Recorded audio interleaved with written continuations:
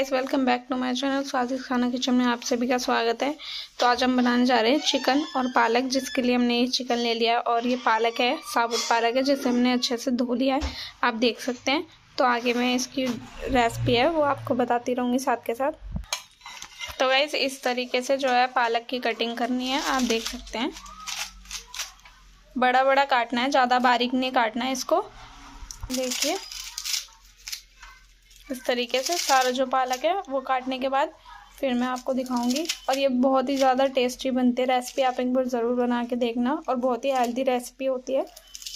तो गाइज़ इस तरीके से पालक की कटिंग कर लें। इस तरीके से ज़्यादा बारीक नहीं करना बड़े बड़े काटने हैं। तो आप देख सकते हैं। हम इस पालक को उबालेंगे, जिसके लिए मैंने फ्राई पैन ले लिया है और इसके अंदर पानी उबलने रख दिया है। अब हम इसके अंदर थोड़ी सी चीनी ऐड करेंगे, जिससे ये होता है कि चीनी जो है, चीनी की वजह से हमारे पालक का कलर नहीं जाता। एकदम ग्रीन ही रहता है जो पालक है, वो ग्रीन ही रहेगा। जैसे काला काला सा पालक हो जाता है ना कलर चेंज हो जाता है, वो नहीं होता। इसलिए आप एक बार ये ट्रिक है, ज़रूर ट्राई करना है एक बार।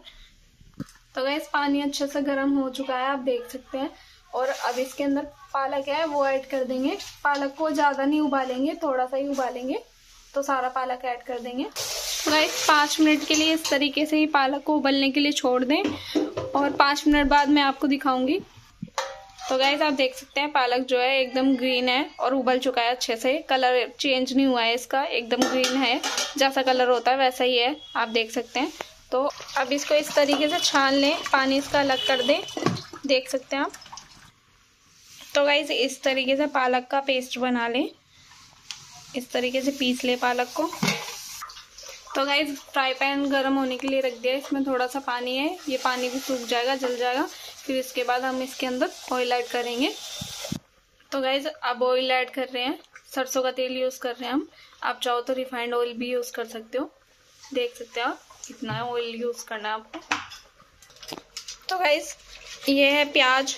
और लहसुन, अदरक का पेस्ट चाहिए और ये टमाटर और हरी मिर्ची का पेस्ट है। ये भी हम साग में यूज़ करेंगे। तो गाइज़ ऑयल अच्छे से गर्म हो चुका है। अब इसके अंदर खड़े मसाले डालेंगे। तो देख सकते हैं आप, ये साबुत खड़े मसाले हैं। ये ऐड करने हैं। तो मसाले अच्छे से पक चुके हैं। अब इसके अंदर जो प्याज और लहसुन का पेस्ट था, वो भी ऐड कर देंगे। और अच्छे से ब्राउन कर लेंगे इसको, अच्छी तरीके से भून लेंगे। तरीके से दो मिनट के लिए छोड़ देंगे ताकि जो प्याज है वो अच्छे से भुन जाए। तो गई प्याज अच्छे से भून चुकी है, आप देख सकते हैं। अच्छे तरीके से भून गई है प्याज। तो गई प्याज भून चुकी है, अब चिकन ऐड करेंगे इसमें। देख सकते हो वो चिकन और प्याज को अच्छे से भून लेंगे, अच्छी तरीके से मिक्स कर लेंगे इसको भी। प्याज में चिकन को अच्छे से भून लेंगे। तो गई इस तरीके से मिक्स करके चिकन को दो से तीन मिनट के लिए छोड़ दें ताकि चिकन जो है मसाले में अच्छे से भून जाए। तो गई चिकन अच्छे से भून चुका है मसाले में। अब टमाटर और जो हरी मिर्ची का पेस्ट था, वो ऐड करेंगे इसके अंदर। उसको भी अच्छे से भून लेंगे। इस तरीके से अच्छे से इसको भी मिक्स कर देते हैं चिकन के साथ ही। और फिर इन्हें भून देंगे अच्छे से। तो गाइस देख सकते हैं चिकन जो है अच्छे से भून चुका है। अच्छी तरीके से मसाले में मिक्स हो चुका है। अब इसके अंदर मसाले ऐड करेंगे तो मैं आपको दिखाती हूँ। ये है एक चम्मच हल्दी पाउडर जो कि आप देख सकते हैं। एक चम्मच धनिया पाउडर एक चम्मच नमक है ये। तो आधी चम्मच है ये, मोटी पीसी हुई मिर्ची है ये। चिली फ्लिक्स जो आते हैं, वो है ये। और एक चम्मच ये मिर्ची का पाउडर है। नमक आप अपने हिसाब से डाल सकते हो आप। अगर आप ज़्यादा खाते हो तो उस हिसाब से और कम खाते हो तो उस हिसाब से नमक आप अपने स्वाद के अनुसार कर ले। जैसा आप खाते हैं, अच्छी तरीके से चिकन को मिक्स कर दें।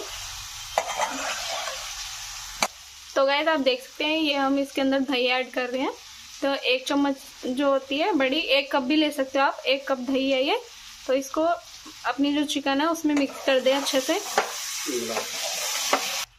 तो इस तरीके से चिकन में दही को अच्छे से मिक्स कर दे। मसाले के साथ एक से दो मिनट के लिए छोड़ दे पकने के लिए, ताकि जो चिकन है वो अच्छे से मैगिनेट हो जाए, मसाले में अच्छी तरीके से मिल जाए। तो इस तरीके, इसलिए पाँच से दस मिनट के लिए इसको इसी तरीके से छोड़ दे मसालों के साथ। तो गाइस चिकन अच्छे से पक चुका है, और हम इसके अंदर ऐड कर गरम मसाला। ये एक छोटा चम्मच गरम मसाला है। तो गरम मसाला ऐड कर लें और ये है एक बड़ा चम्मच जीरा पाउडर। इसे कर लेंगे अच्छे से चिकन में मिक्स जो अभी हमने मसाले डाले हैं उन्हें। अच्छे तरीके से मिक्स कर लेंगे चिकन में। तो आप देख सकते हैं, चिकन जो है मसालों में अच्छे से मिक्स हो चुका है। अब इसके अंदर ऐड करेंगे जो हमने पालक का पेस्ट बनाया था, वो देख सकते हैं आप, जो हमने पालक पीस के रखा था, वो ऐड कर देंगे। और हमने पालक में कोई कलर या कुछ भी यूज़ नहीं किया, जो ट्रिक बताई थी, सिर्फ़ उसी से आप देख सकते हैं कितना ग्रीन है हमारा पालक अभी भी, वरना जैसे काला काला सा पालक हो जाता है, बिल्कुल नहीं है। और आप एक बार ज़रूर ट्राई करना, ये रेसिपी बहुत ही ज़्यादा यूनिक रेसिपी है और बहुत ज़्यादा टेस्टी और हेल्दी रेसिपी है। आप एक बार ज़रूर ट्राई करना और हमें कमेंट करके ज़रूर बताना कैसी लगती है आपको रेसिपी हमारी। इस तरीके से अच्छे से मिक्स कर लें। तो गाइस थोड़ा सा पानी ऐड करेंगे ताकि जो पालक है अच्छे से पक जाए और चिकन भी अच्छे से पक जाए। ये आधी कटोरी पानी होएगा। तो आप अपने अकॉर्डिंग भी पानी डाल सकते हैं। अगर आप थोड़ा ज़्यादा ग्रेवी वाली खाना चाहते हैं तो उस हिसाब से कर लें। हम थोड़ा ड्राई ड्राई सी बनाएँगे मसाले वाली, इसलिए हम ज़्यादा पानी ऐड नहीं कर रहे तो गाइस अच्छे से मिक्स कर दिया चिकन को पालक में। अब इसको 10 मिनट के लिए इस तरीके से छोड़ दे ढककर। तो ढककर छोड़ दे, फिर 10 मिनट बाद दिखाती हूँ मैं आपको। तो गाइस चिकन जो है, बन चुका है और आप देख सकते हैं, अब हम इसके अंदर ऐड करेंगे घी और ये है हमारा देसी घी। तो ये शुद्ध घी है। इसको ऐड करेंगे अब चिकन में। इससे अब टेस्ट अच्छा लगता है। बहुत टेस्टी लगती है चिकन तो गाइज़ 10 से 15 मिनट इसी तरीके से घी डाल के पकाएँगे। अगर आपके पास घी ना हो तो आप बटर भी यूज़ कर सकते हो। कोई ज़रूरी नहीं है कि घी यूज़ करना है बटर भी यूज़ कर सकते हो। पर आप एक बार ज़रूर ट्राई करना। बहुत ज़्यादा अच्छी रेसिपी बन के तैयार होती है ये। बहुत ही ज़्यादा टेस्टी रेसिपी लगती है। और आप देख सकते हो चिकन के ऊपर जो है कलर कितना बढ़िया आ गया है। बाकी मैं आपको निकाल के दिखाऊँगी तो पंद्रह मिनट के लिए हम इसको इसी तरीके से छोड़ देंगे। फिर मैं आपको दिखाती हूँ। तो गाइज़ आप देख सकते हैं पालक और चिकन बन के रेडी हो चुके हैं। कितना बढ़िया कलर आया हमारे पालक में। तो आप तो अगर इस वीडियो अच्छी लगी चैनल को लाइक करें सब्सक्राइब करें शेयर करें। मैं आपको एक सर्व करके दिखाऊँगी ये। तो आप कमेंट करके ज़रूर बताना आपको रेसिपी कैसी लगी। और एक बार ज़रूर ट्राई करना ये रेसिपी बहुत ही यूनिक रेसिपी है और बहुत ही ज़्यादा हेल्दी और टेस्टी रेसिपी है। तो गाइज़ आप देख सकते हैं ये हमारी थाली। ये अगर इस चिकन की आपको रेसिपी चाहिए तो आप हमें कमेंट करके ज़रूर बताना। इसकी भी ये वीडियो पड़ी हुई है हमारे वीडियोस में तो आप जाके विज़िट करके देख सकते हो। वीडियो अच्छी लगी हो चैनल को लाइक करें सब्सक्राइब करें शेयर करें। Thanks for watching